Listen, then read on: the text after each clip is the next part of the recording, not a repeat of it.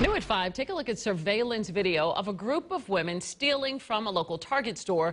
Investigators say the women look for Fitbit bracelets, and they've hit all over the metro area. As Channel 2's Mike Petchenik reports from Milton, the women have figured out a way to defeat the locks on the display cases. Police say the latest case happened here at this Target store on Highway 9 in Milton Monday night. The women came into the store and surveillance video captured their every move.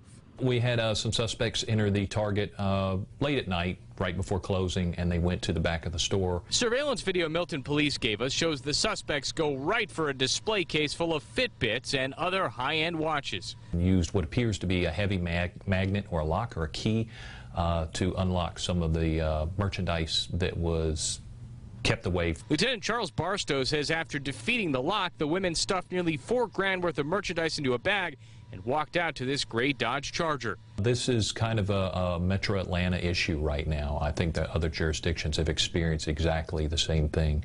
Uh, and there seems to be high demand on the black market for these items right now. It's crazy. I didn't realize you, you would be able to open those. Customer Jillian Block says she didn't know Fitbits were a hot commodity in the black market. I don't know why they'd be trying to steal Fitbits. Seems silly. And that's going to increase the prices for the rest of the consumers who aren't taking it. Katrina Lewis has a Fitbit herself and told us she understands the allure. I'm not surprised actually because the popularity of them. I have one myself. Didn't steal it, but.